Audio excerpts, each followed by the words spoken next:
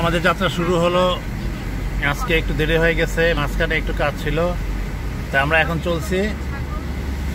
আমাদের সেই দেখা মানে আমাদের সৌভাগ্য যে আবার সেই রাস্তায় আসতে পারছি, আমরা এখন বিক্রমপুর যাচ্ছি। শুধুমাত্র রাস্তাটা দেখার জন্য, আর কিছুই না। রাস্তাটা আমাদের কাছে দারুণ লাগে। আমার মনে হয় যেন এটা কোনো বিদেশের কোনো রাস্তা। এই জন্য আমরা এই রাস্তাটাকে যাওয়া খুব পছন্দ করি আর এনিওয়ে আমরা একটু রাস্তাটা দেখতে থাকি। এটা একটু একটু পাশে রাখতে হবে।